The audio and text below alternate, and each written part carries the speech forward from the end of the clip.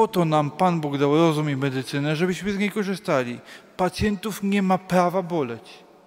Nie ma ich prawa boleć. Jeżeli w hospicjum kogokolwiek boli, to znaczy, że złe hospicjum. Oczywiście przez pierwszą dobę, przez drugą dobę może ich boleć, bo my musimy ich poznać i ustawić.